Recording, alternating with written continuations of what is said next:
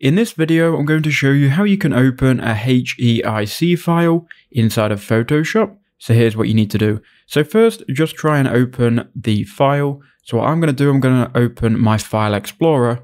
And here you can see I've got a HEIC file. Now you can just drag it onto Photoshop or you can go to File, Open, and then find it this way through this File Explorer.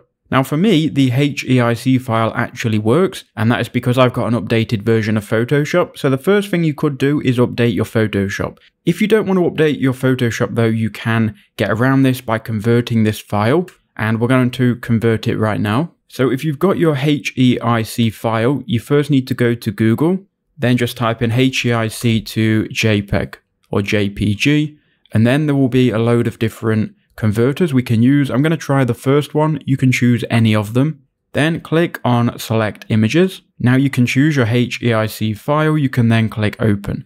That will then upload it. You can then click convert to JPEG and then it should go to 100% and then what it will do is it will convert your file. Now we can download the converted image as a JPEG file. And now once we've got this JPEG file downloaded, we can actually upload that to Photoshop instead. So now we can see the file has been downloaded as a JPEG and we could just import that. So that's how you can do it. I hope that quick video did help you out.